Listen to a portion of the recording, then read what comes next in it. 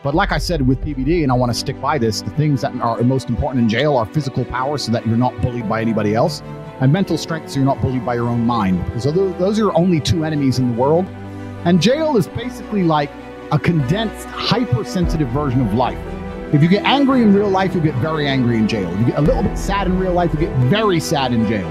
Everything is condensed and pressurized. So if you have problems with your mind and problems controlling your thoughts in the real world, you're going to have huge problems in jail. You get picked on in the real world, to get really picked on in jail. It's like condensed